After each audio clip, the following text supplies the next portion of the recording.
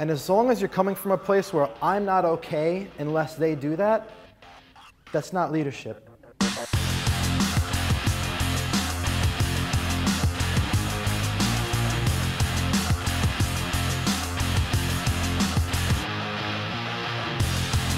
How do I be a leader with somebody and, and lead them while still being, I'm assuming your friendly self, like to connect people, be jovial, but at the same time, like, you know, making sure that they, they do what they have to do. They need to do that.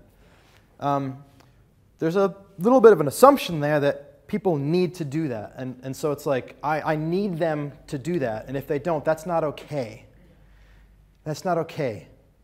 And as long as you're coming from a place where I'm not okay unless they do that, that's not leadership. That would be effective management. That's like, there's a control dynamic there, right?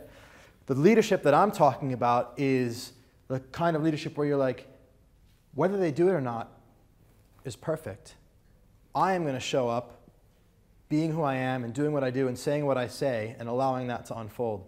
So I guess one of the, we could, well, let's come up with some components. Do we have a, a marker I can use here? I never use flip charts, but I'm feeling inspired today. Let's come up with some things because uh, some qualities of being a like in the world of being a true leader, right?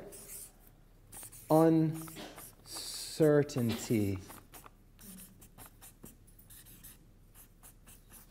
Like you have to in this in this way of being a, a leader, you have to uncertainty has to be part of the recipe.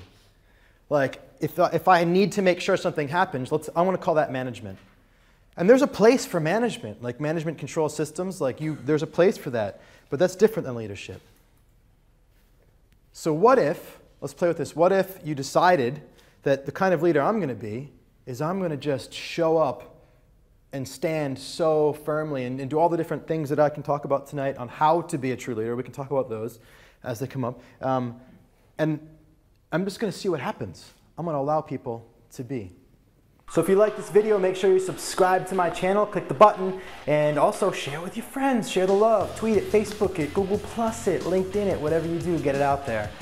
And of course, if you really want to engage in this idea, down below in the comments, the discussion, the dialogue is where the best insights come.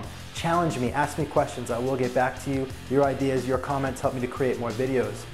Finally, if you're interested in learning at all about what I do, my personal coaching for leaders, artists, musicians, sole proprietors, anybody who's a creative force in the world and creating their own things, check out my website. Also, if you're a coach and you want to learn more about my apprenticeship or learn more about how I create coaching clients, check out my website, link down below.